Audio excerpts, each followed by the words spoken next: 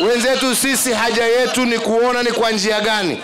Tutaboresha maisha ya wakenya na tuimarishe uchumi wa taifa letu la kenya. Sisi ni watu ambao hatuna ubaguzi sisi ni watu ambao hatuna shida na mtu. Sisi tunataka wakenya wawe kitu kimoja faida tusonge mbele na tuendelee mbele. Tunaelewana wenzangu?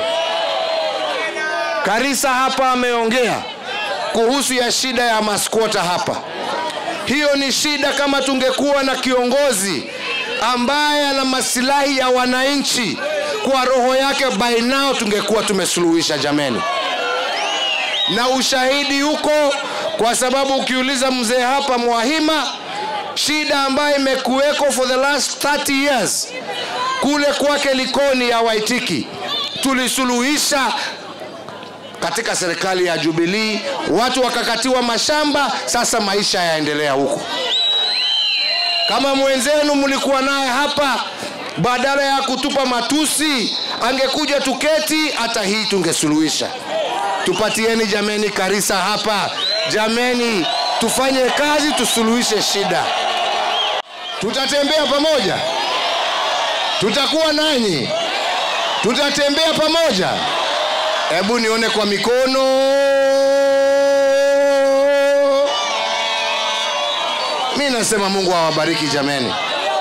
Mungu awalinde. Tutembee pamoja tubadilishe nchi yetu. Wenzangu saa ingine wananiambia ya kwamba wanabadilisha. Jameni. Kalonzo msioka amekuwa waziri. Nataka niwaambie viongozi wa mabadiliko si ni kweli ati tunabadilisha. Amekuwa waziri zaidi ya miaka thelathini. Niambie ni mabadiliko gani analeta ya watu wa malindi hapa? Msalia mdavadi amekuwa waziri wa fedha na waziri wa nchi ya kenya. Hata kama umeingana magazeti juzi juzi hamuoni sura ya huyu hamuoni sura yangu.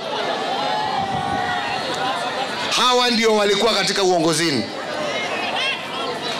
zaidi wote wakijumlishwa they have been in power for more than 100 years.